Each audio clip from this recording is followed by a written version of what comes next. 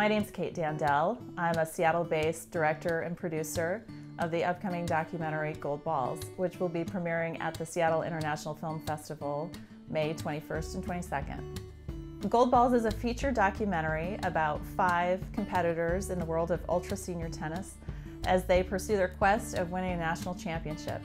And the catch is they're all over age 80. One thing you learn when you follow 80 year old tennis tournaments is that there are a lot of people with a lot more energy than you have. the lifestyle that these players pursue really is like a 20 something indie rocker.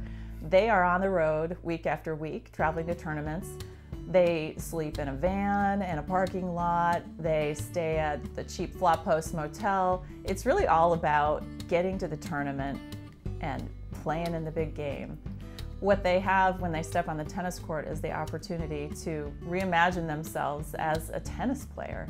And we have women who are tops in the 75 and 80 divisions, as well as men who are top champions in the 80 and 90 year old divisions.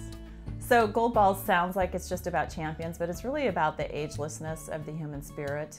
It's really about putting yourself on the line and engaging um, whatever your age and stage. I mean, these players, they, they offer lessons for all of us, whether tennis is our thing or whether art is your thing or whether gardening is your thing, about staying engaged in life, staying engaged in purposeful activity, and how actually pursuing a goal can help, help you overcome whatever traumas or sadness or regrets you might have accumulated over the course of your life.